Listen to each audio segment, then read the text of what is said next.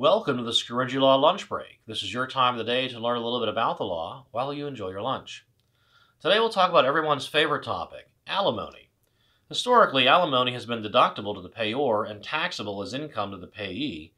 The tax deductibility of alimony provided an incentive for higher income earning spouses to agree to pay alimony because they would get a nice tax deduction for it, and tax deductions are more beneficial to higher income earners because they have a higher tax burden to start with.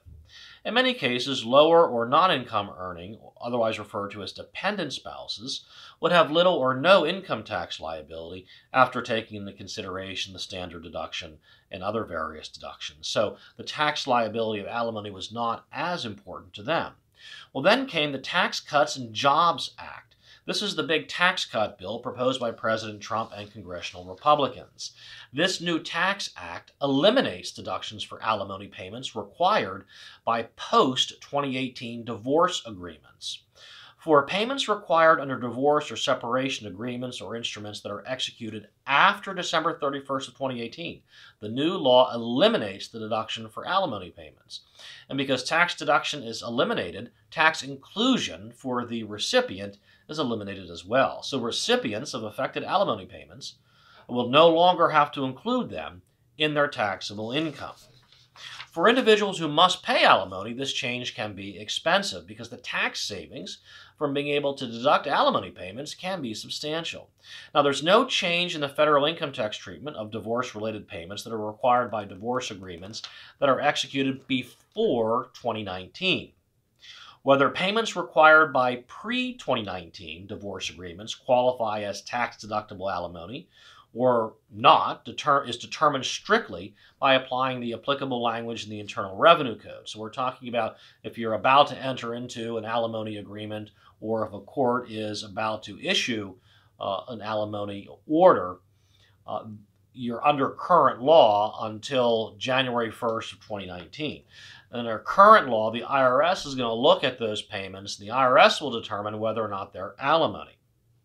Uh, they may be alimony if the spouses don't file a joint return with each other.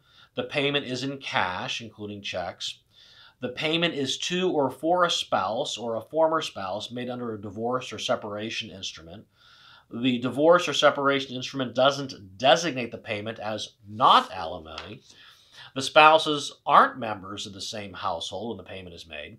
There's no liability to make the payment after the death of the recipient, and the payment isn't treated as child support or a property settlement. Those are the factors that must be satisfied for the IRS to characterize payments as alimony under current law.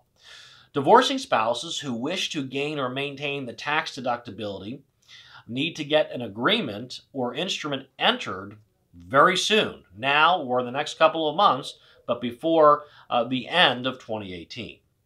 And if you finalize in 2018 an agreement on alimony, it will remain deductible for the payor and includable as income tax for the payee for the duration of your agreement. Even if you modify your agreement in the future, you can still retain the deductibility and taxable status uh, of alimony unless your modification expressly provides that the new law should govern modifications going forward. So if you want to maintain the deductibility and includability of alimony under current tax law, you got to get your deals done now before the end of the year.